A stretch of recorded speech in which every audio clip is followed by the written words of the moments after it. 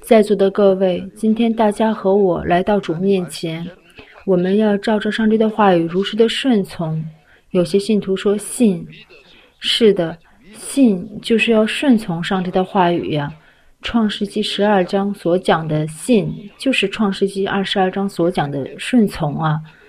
我们跑一百米，是从起跑线跑到终点，这才是一个完整的信，就是要照着上帝的话语如实顺从，顺从了上帝的话语，才能得到应许呀。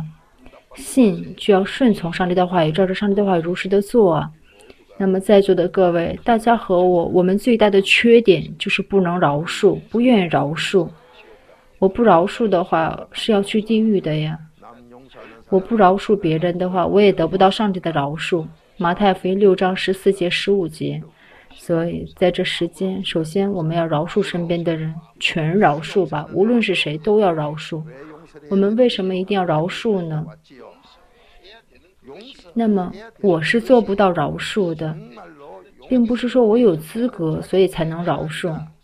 我为了得到上帝的饶恕，我也要饶恕身边的人，甚至我的仇敌。跟我结怨结仇了，一直骂我，甚至诋毁我。无论他的行为多糟糕，这也是为了我，是因为上帝爱我。一个人被使用成恶的道具，那这个灵魂是非常可怜的。箴言是六章四节。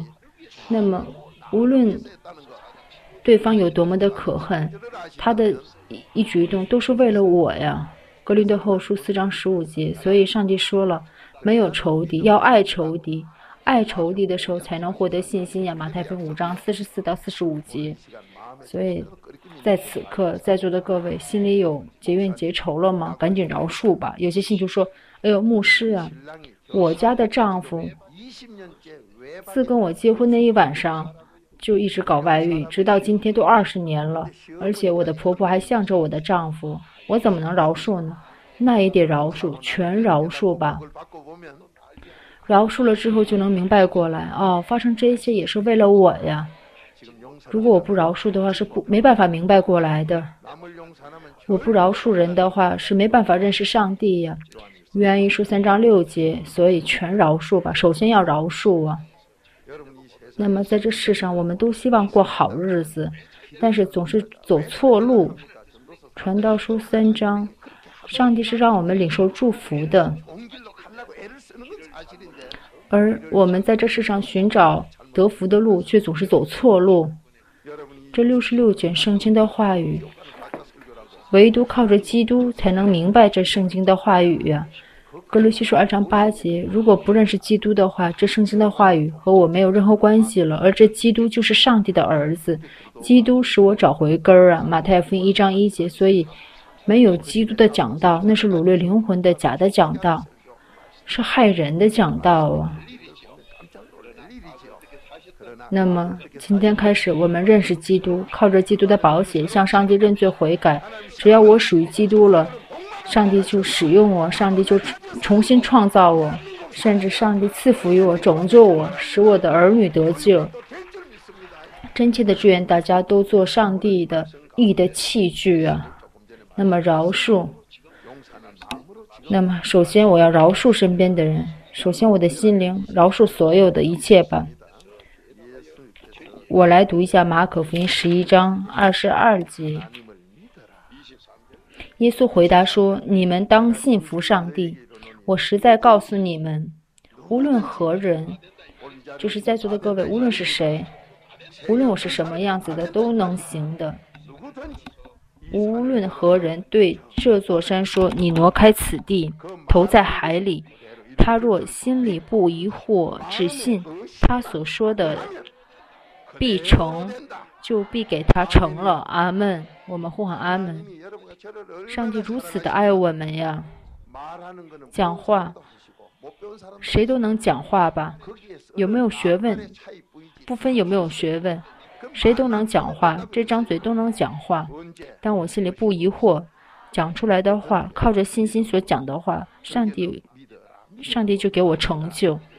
那么这信，好多人以为自己有信心呢。其实我们都不知道什么是信呢。耶稣亲自说：“任何人，无论是谁。”耶稣亲自说了：“无论是谁。”耶稣让我们信上帝，让我们信服上帝。那么，上帝在哪里呢？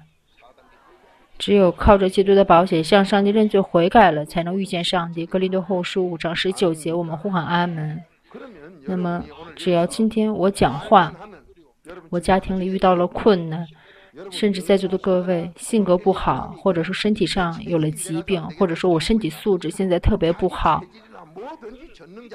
全能者上帝告诉我，只要相信上帝，只要相信上帝的时候讲话，讲一句话，上帝就能为我负责，而我们却不相信这一点，甚至我们讲话全讲一些什么样的话呀？讲的是抱怨的话，甚至是咒诅别人的话。哎呀，我家孩子到底随谁变成这个样子了？哎呀，我早知道怎么嫁了个这么个丈夫呢？就坐在那里聊的、说的，全都是不好的话。我们国家的国民，大家可以观察一下，一个人做了好事的话，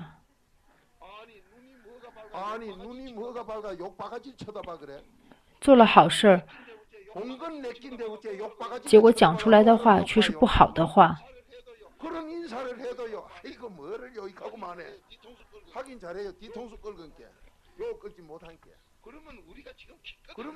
比如说，我们做了一件好事，就说：“哎呀，您受累了，又受累了。”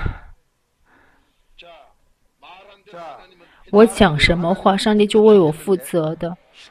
而我们说：“哎呦，您辛苦了，您受累了，就是让你再辛苦一次，让你再受累一次嘛。”一个人做了好事，我们就说：“哎呀，您真是得福了。”这时候这个人就能得福啊。而我们呢，讲一句：“哎呦，您受累了，您辛苦了。”结果又让人家受累，又让人家辛苦啊。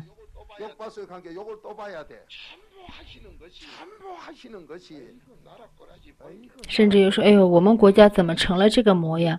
总是数落别人，甚至诋毁别人。我们讲出的话，大部分话都是相互诋毁的话。这都是因为我们心里有罪恶，我们身体里有罪恶。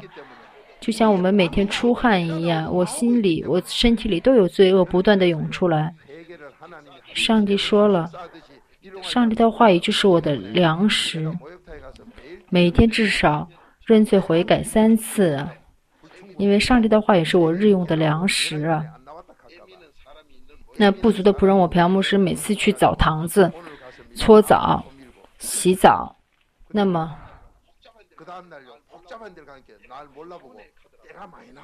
每次搓澡还能搓出很多的泥儿来。昨天搓澡的时候还有那么多泥，今天搓澡怎么还有这么多泥呢？我们每天搓澡，每天去洗澡，身体上还是出汗，身体上还是有臭味儿。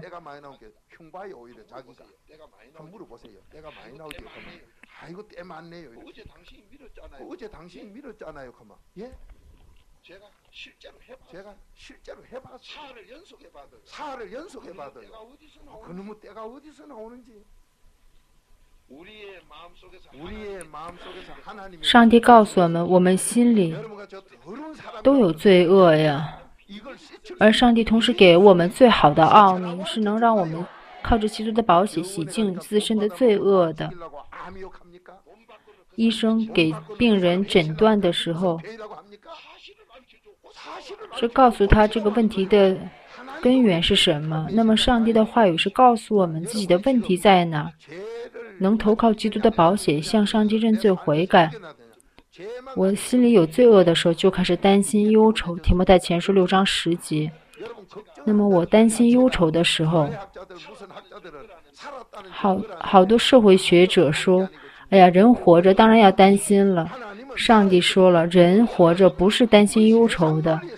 这这句话在世上的理论是行不通的。世上的理论是什么？千家户有千个担子，万家户有万个担子，儿女多忧愁也多。世上有很多很多的理论，而上帝的话语不是世上的理论呀。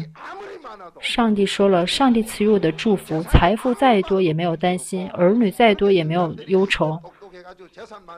箴言十章二十二节，上帝赐予我的祝福是不添加任何担心忧愁的，只有祝福。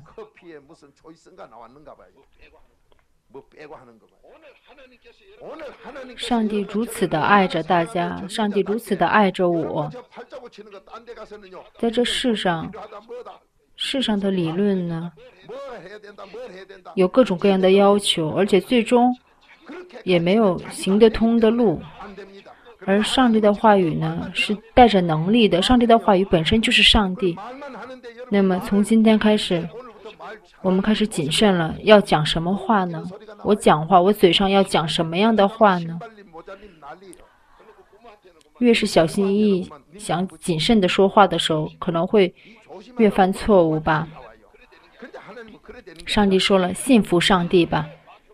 马太福音十二章三十四节。我心里存什么，嘴上就讲什么。信心在我心里的时候，我嘴上讲的话全是靠着信心讲的话。马太福音八章十三节，马太福音十二章三十四节，我内心存什么，嘴上就全说出来了。那么在今天这短暂的时间里，祝愿大家改变命运吧。上帝把这么好的全给了我们，而这一切首先要信呢，信服上帝，信了上帝。这时候心里就没有疑惑，我心里有疑惑疑心的时候，说明我不属于信心呀。罗马书四章十九到二十节，亚伯拉罕从来没有疑惑，亚伯拉罕面对上帝的话语从来没有怀疑，从来没有疑惑。结果年过百岁的时候生了孩子。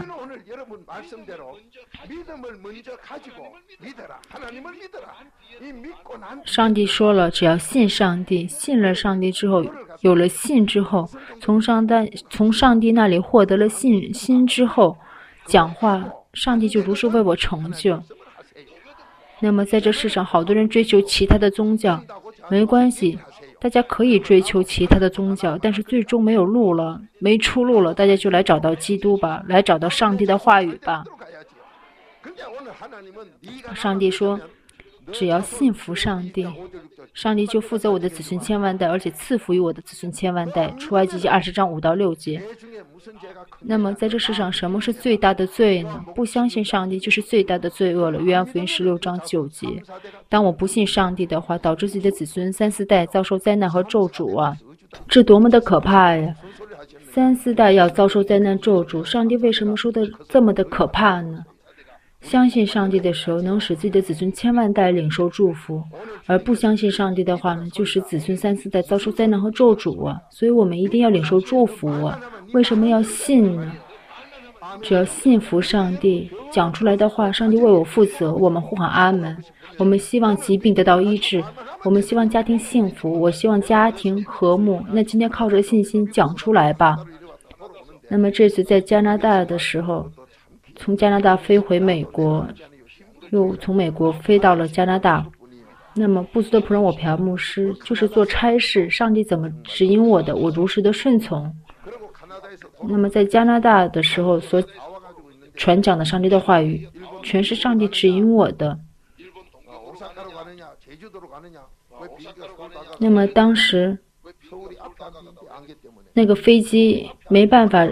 因为当时那个从加拿大飞回韩国的飞机呢，那个飞机没办法降落，因为韩国的雾太重了，所以这个飞机要在日本降落。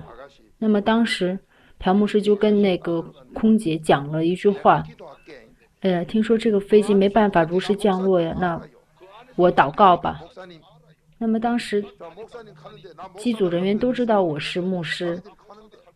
那么当时那些机组人员就告诉我：“哎呀，牧师啊，我朴牧师就说了一句，我祷告吧。”然后当时那些机组机组人员还很很不屑，还很藐视。但是我依靠了上帝的话语，只要信信服上帝讲话，上帝就为我负责呀。那么，如何证明这是上帝所做的恩典呢？突然，那位机组人员就来找到我说：“哎呀，牧师啊，太神奇了！这个飞机能如实的在首尔降落了。上帝的话语就是能力。希伯来书四章十二节，上帝的话语是活着的，是如实有能力的。真切的祝愿大家领受这祝福啊！不仅我朴牧师能得到，大家也能得到啊！”在座的各位，大家所面临的困难，今天只要信服上帝，嘴上讲出来告白吧，上帝为我负责呀，这是如实实现的。怎样才能获得信心呢？信服了上帝才能讲话。那什么是信心呢？这信心是上帝给我的礼物，是来自上帝的。以弗所说二章八节，我们读一下一二：你们得救是本乎恩，也因着信。这并不是出于自己，乃是上帝所赐的。阿门。在座的各位，这信心是上帝给我的礼物啊！靠恩典，我们得救，全靠上帝的恩典呀。所以，这信心也是上帝给我的礼物。这恩典是什么呢？主与我同行的就是恩典。路加福音一章二十八节。那么。主和我同行，能和主在一起，这就是恩典。那么主是谁呢？我怎样才能和主在一起呢？与主同行，这就是恩典呀。那么主是谁呢？主就是基督啊。马太福音十六章十六节。那么基督是谁呢？格罗西书二章二节。基督就是上帝的奥秘。那么这奥秘是什么呢？格罗西书一章二十七节。这基督的奥秘就是要进入到我心灵里。尼西米记九章一节，尼西米记八章告诉我们怎样认罪悔改。那么尼西米记九章一到五节有提到四分之一认罪，第二个四分之一求上帝饶恕我的罪。这样认罪悔改的时候，基督就进入到我心灵。无论是谁。我曾经犯罪了，我曾经卖淫了，我曾经抢劫了。无论我犯了多大的罪恶，只要今天，只要此刻能靠着基督的宝血承认我的罪，向上帝认罪悔改的时候，上帝就饶恕我的罪。这就是四阶段悔改，这就是使我蒙恩典呀。四阶段悔改就是让我靠着基督的保险向上帝认罪悔改，直到有发自内心的感恩感谢为止。基督是面对所有的人呀。而耶稣面对的呢，是属于基督的人，认罪悔改的人才能和耶稣有关系。马太福音一章二十一节呀，格林的后书五章十七节。而我们呢，我们都是罪人，所以无论是什么样的罪人，只要肯认罪，肯靠着上帝的宝血，肯靠着基督的宝血向上帝认罪悔改的话，上帝就饶恕我的罪过。我们一起找一下彼得签书一章二十一节吧。无论是谁，只要靠着基督的宝血向上帝认罪悔改。彼得签书一章二十一节，我们一起来读一下。耶稣拯救的是属于自己的百姓。我怎样才能成为耶稣的百姓呢？就是靠着基督的宝血向上帝认罪悔改呀。所以我们需要做四阶段悔改。基督，基督是面对所有人，而耶稣，耶稣只拯救属于基督的人。所以我们要靠着基督找回家谱啊！因为我们是罪人，我要承认我的罪，投靠基督的宝血，使我的罪得到赦免了，我才能属于耶稣的百姓了！马太福音一章一节是让我们靠着基督找回家谱。彼得前书一章二十一节，我们读一下一二。你们也因着信，你们也因着他信那叫他从死里复活，又给他荣耀的上帝，叫你们的信心和盼望都在于上帝。阿门。靠着基督使我获得信心呀！我们找一下格林多后书五章十七节。格林多后书五章十七节。获得了信心之后，就讲话吧。身体上有了疾病吗？先获得信心，紧接着告白，我的疾病得到医治了。结果真的得到医治了，因为这是投靠了上帝的话语。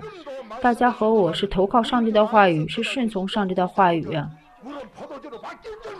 约翰福音二章九节，水变成葡萄酒，那也是因靠着上帝的话语如实的顺从了。真切的祝愿大家今天领受这好的祝福啊！真切的祝愿大家领受这好的祝福啊！在现场听讲到的信徒们也领受这祝福啊！这是多么多么好的应许呢！上帝把这好的奥秘给了我，给了我们国家，给了大家，也给了我们，这是多么多么好的祝福呢！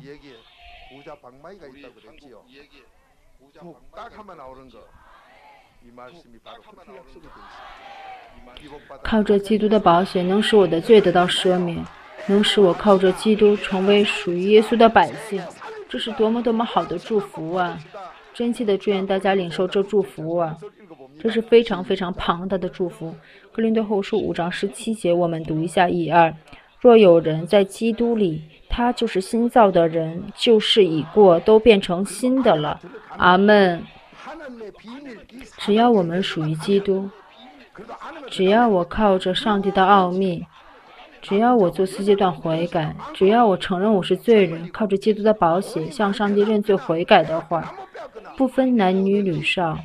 不分男女老少，不分有没有学问，不分什么样的背景，凡是什么样的人，只要承认自己是罪人，靠着基督的保险向上帝认罪悔改的话，上帝就重新创造我。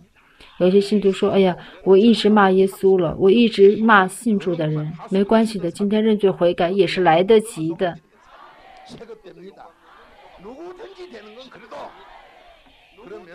所以，基督是面对所有的人，这多么多么的好啊！为什么一定要强调基督耶稣呢？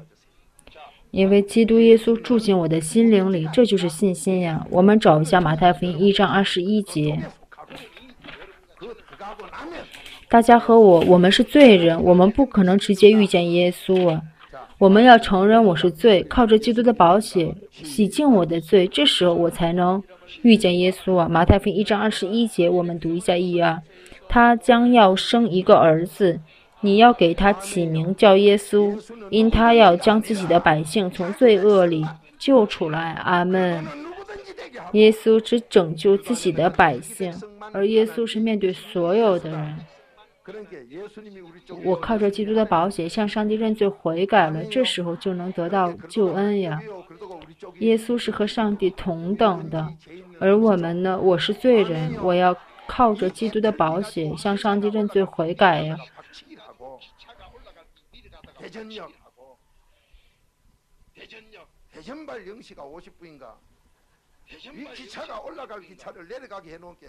而耶稣就是基督啊！我要承认耶稣是基督，所以我要靠着基督的保险向上帝认罪悔改呀。那么有些人光嘴上说：“哎呀，我遇见耶稣，我和上帝同在了。”那首先，你有认罪悔改吗？我有没有靠着基督的保险向上帝认罪悔改呢？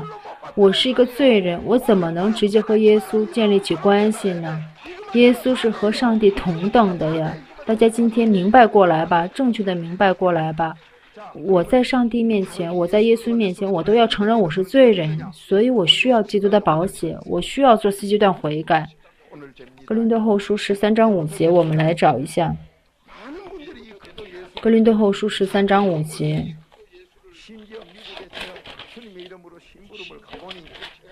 那么，奉主的名，不足的仆人我朴牧师去美国传福音。好多人总是不明白，哎呀，为什么这么强调基督耶稣呢？好多人听也听不明白。我们读圣经，光靠理论是读不明白的。那么，好多人以为背诵圣经就是明白圣经了，绝不可能的。认罪悔改了，承认我是罪人，认罪悔改了，才能读懂圣经。题目在后说二章二十五节。我们要认罪悔改，做了悔改祷告，才能读明白圣经，领悟圣经啊！好多人不悔改，不认罪，光想背诵圣经，用头脑背诵圣经的话会怎样啊？我的魂儿我头脑的魂只听魔鬼的话。我们人自堕落以来一直听魔鬼的话，我的头脑一直在听魔鬼的支配呀。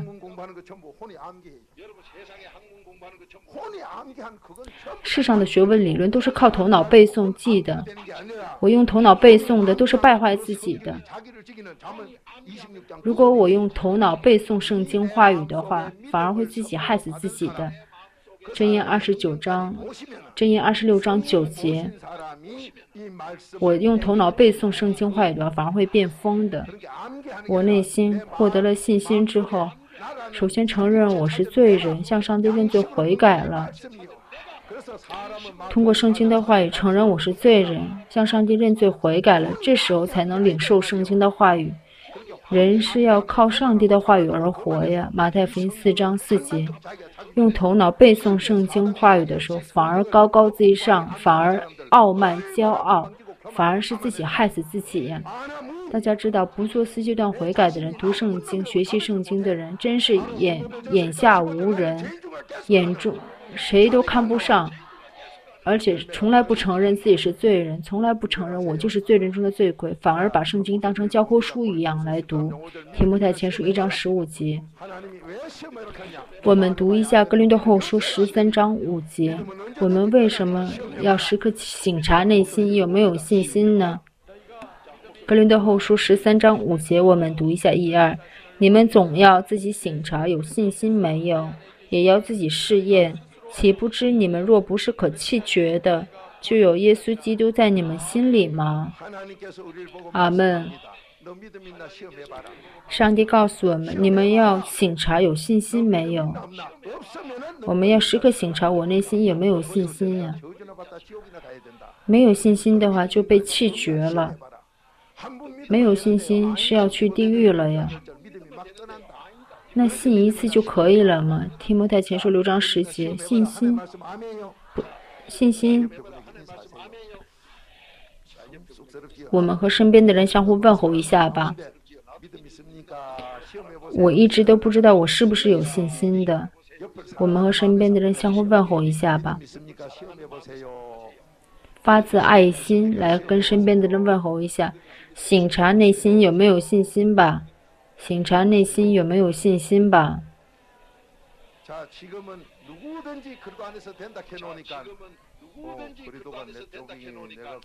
无论是谁，在基督里都是能得救的。无论是谁，只要靠着基督的保险，向上帝承认我的罪、认罪悔改的话，就能得救啊！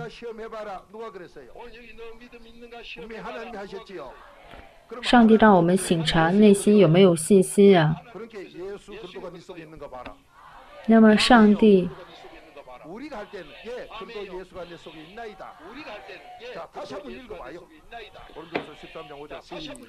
只要我们承认我是罪人，甚至承认到什么程度？承认我就是罪人中的罪魁，我是最大的罪人。格林顿后书十三章五节，我们读一下一二。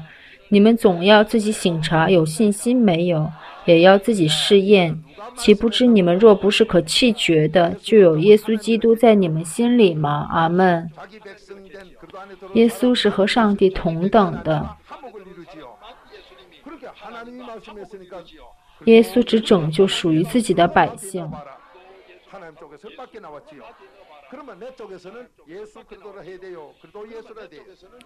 那么我是罪人，我需要靠着基督的保险向上帝认罪悔改。我就是害死耶稣的那个罪人呀，所以我要靠着基督的保险向上帝认罪悔改。只要我属于基督了，我的罪和我就不再有任何关系了。我属于基督了，我就是耶稣的百姓了，所以要时刻醒察我内心有没有这信心呢？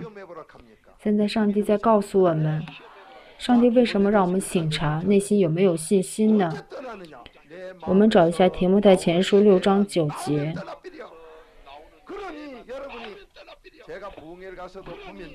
我们找一下《题目在前书》六章十节。每次参加复兴会的话，讲到时间再紧凑也要讲两个小时以上。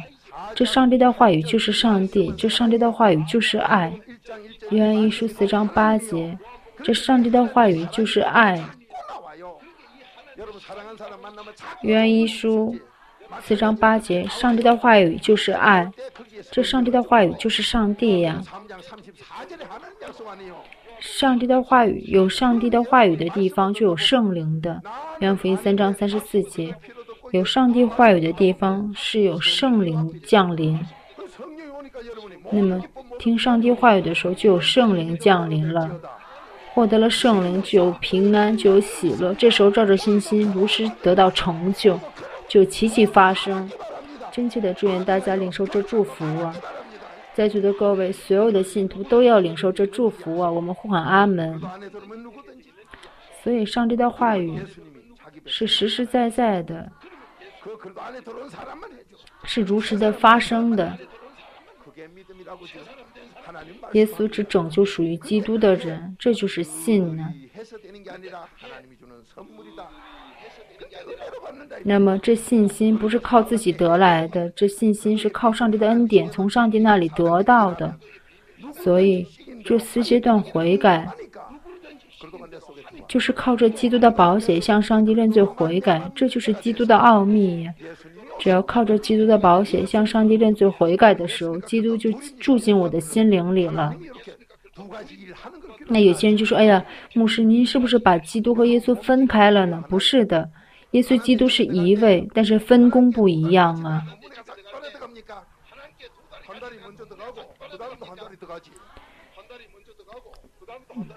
就像我们一个身体有两条腿一样，而两条腿最终都是这身体里的，都是一个呀。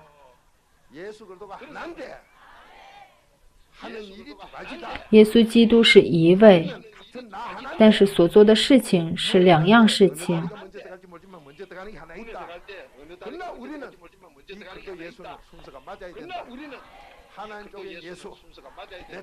基督耶稣。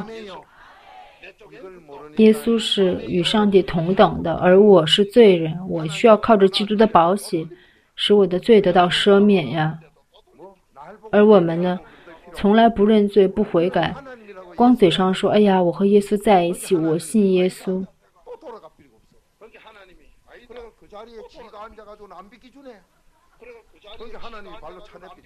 甚至我们以为自己信耶稣，自己却跑到上帝的位置上。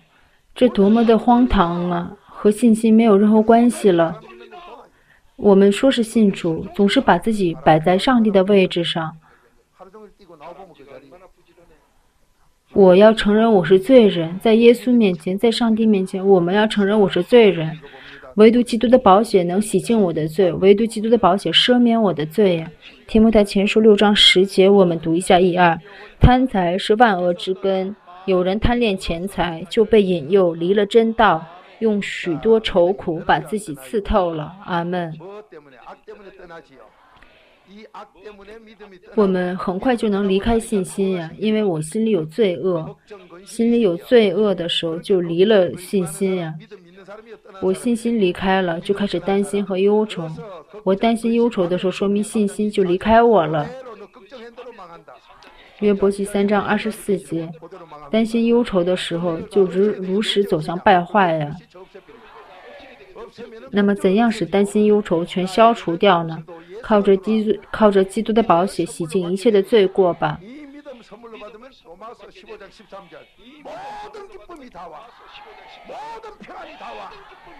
有基督耶稣住进我心灵里了，这就是信心呀！获得了信心，就能得到一切的喜乐。罗马书十五章十三节，我们要时刻醒察我内心有没有信心呢？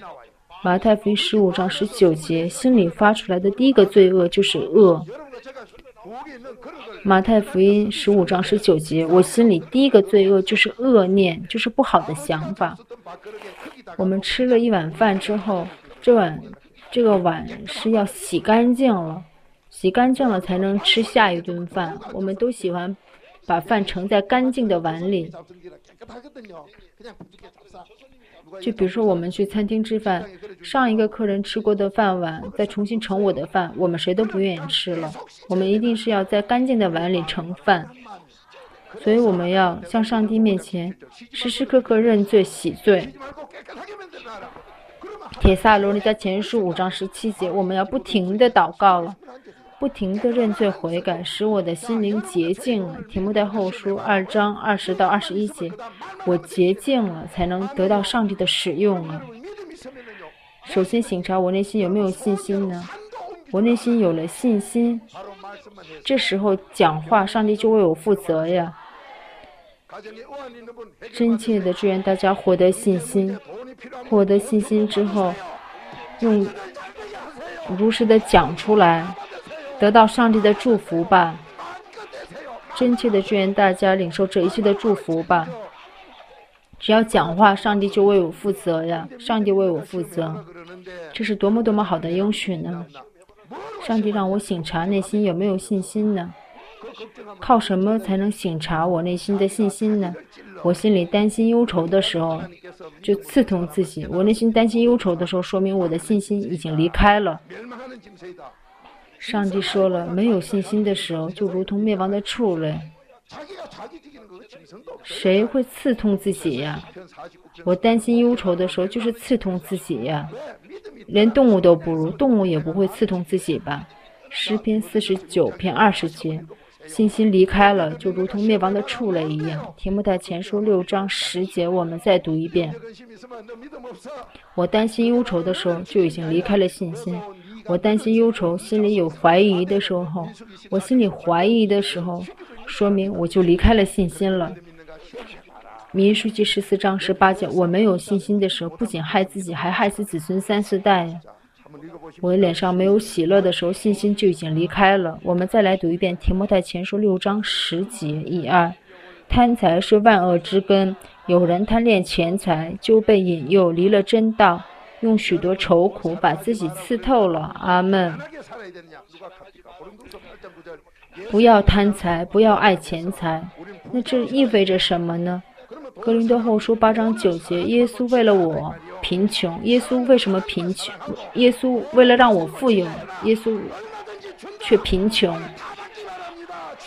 钱财不是爱的对象，钱财是支配管理的对象。我们在这世上是要支配管理这一切。真切的祝愿大家领受这一切的祝福呀！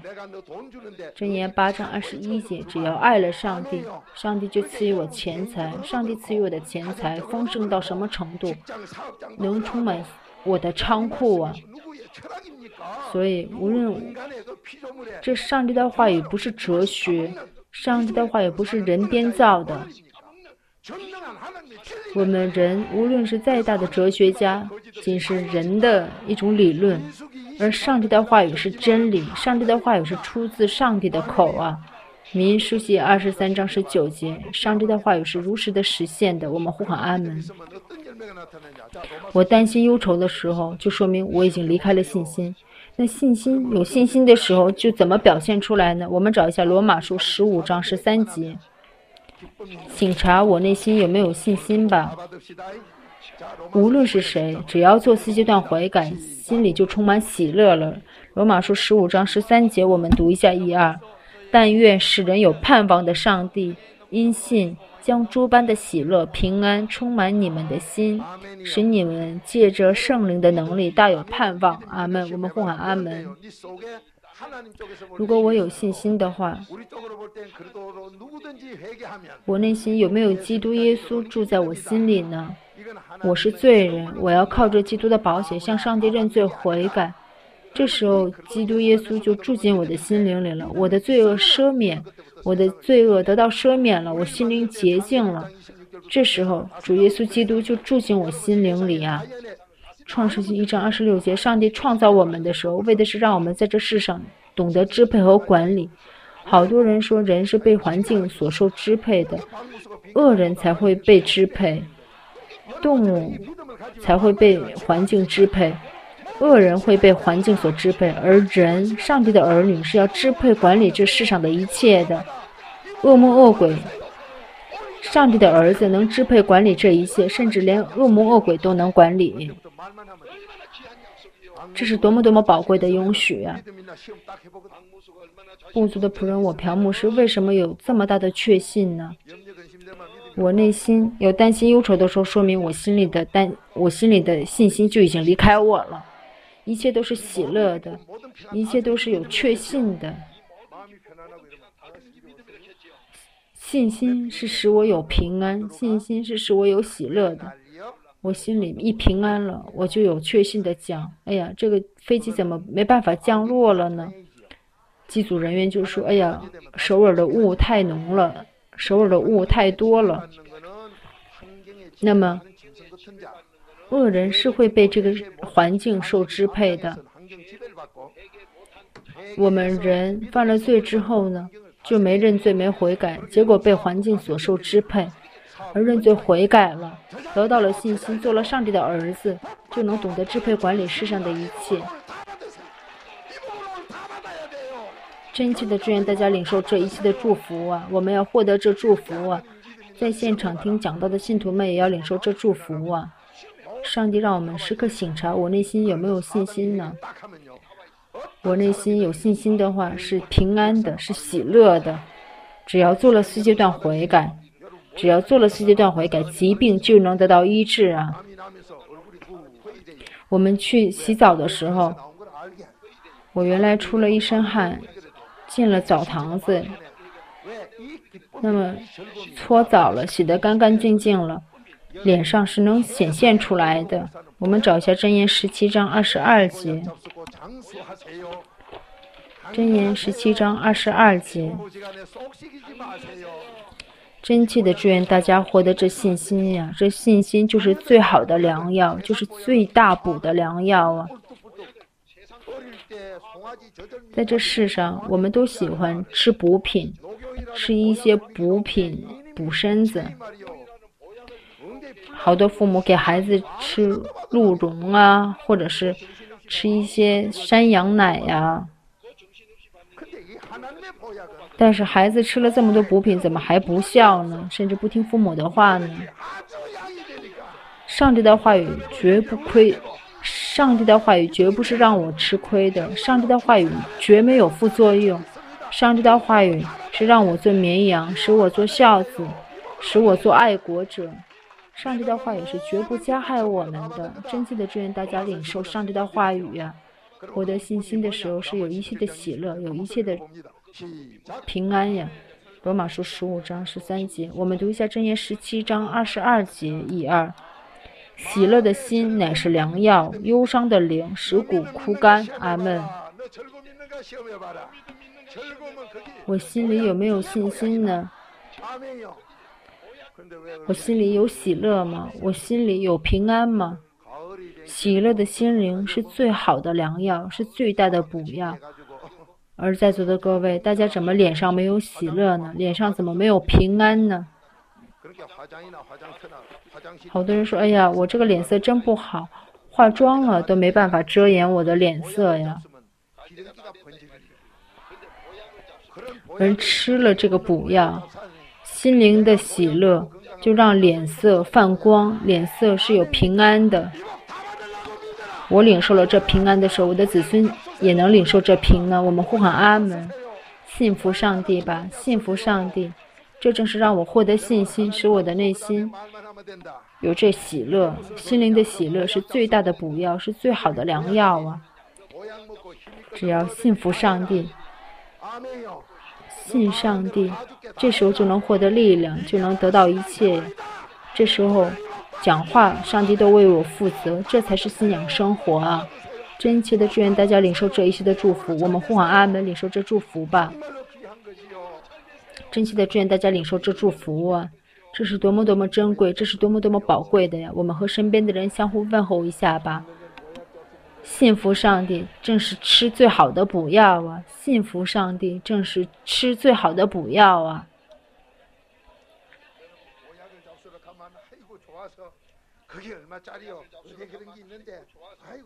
我们都希望补身子，哎呀，能补身子的话。都希望有个秘方能补身子，那么信服上帝就是比这个补身子更好的呀。为什么都不愿意信服上帝呢？靠着基督才能信服上帝，格罗西书二章八节，不做四阶段悔改的讲道，那都是去地狱的。听了假的讲道，就会去地狱；讲了假的讲道，也会去地狱。我们找一下格罗西书二章八节，不认罪不悔改，不做四阶段悔改的，那都是假的讲道。我们找一下格罗西书二章八节。格罗西书二章八节，我们一起读一下一二。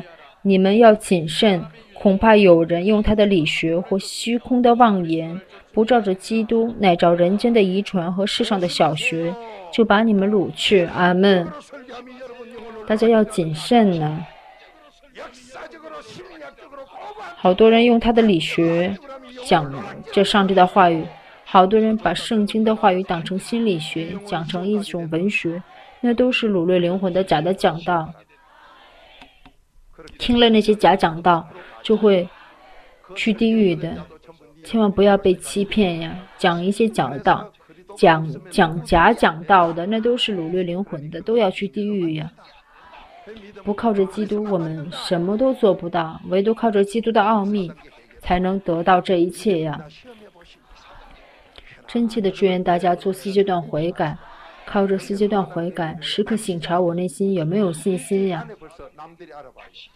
做四阶段悔改的时候，做了四阶段悔改的话，很快就能显现出来。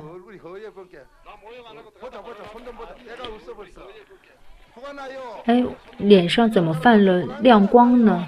怎么这么干净啊？